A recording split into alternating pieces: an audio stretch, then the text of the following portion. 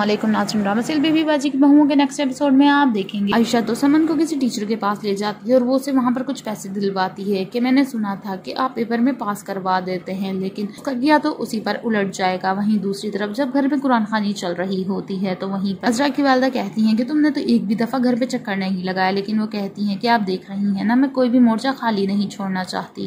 मकर सायरा तो जैसे ही कुरान खानी खत्म होती है तो वो कहती है की असमा, एक काम करते हैं, हम मामू मुमानी की कब्र पर चलते हैं। लेकिन एक काम करते हैं ना, हम जमाल को कहते हैं, वो हमें ले जाएगा और रस्मा तो देख रही होती है कि आखिर ये जमाल भाई का नाम क्यों ले रही है। मगर उस टाइम पर अजरा भी सारी बातें सुन लेती है और वो तो फुप्पो को वैसे ही मुँह चढ़ाकर जवाब देती है। अजरा की वालदा के साथ बहुत अच्छी बन रही होती है और वलीद की तो लड़कों के साथ लड़ाई हो जाती है और आखिरकार उसका भी मामला बहुत ज़्यादा बिगड़ जाता है। लेकिन लेकिन फरत तो अपने शोहर से पूछती है कि कल तुम मुझे एक बात बताओ, कल तुम दुकान पर थे या नहीं? तो वो कोई जवाब नहीं देता और कहता है, क्या तुम मुझ पर हेड मिनिस्टर लगी हुई हो? लेकिन वो कहती है कि हेड मिनिस्टर नहीं, मैं तुम्हारी बीवी हूँ, इसलिए तुम्हें मेरे हर सवाल का जवाब देना लाजमी होगा।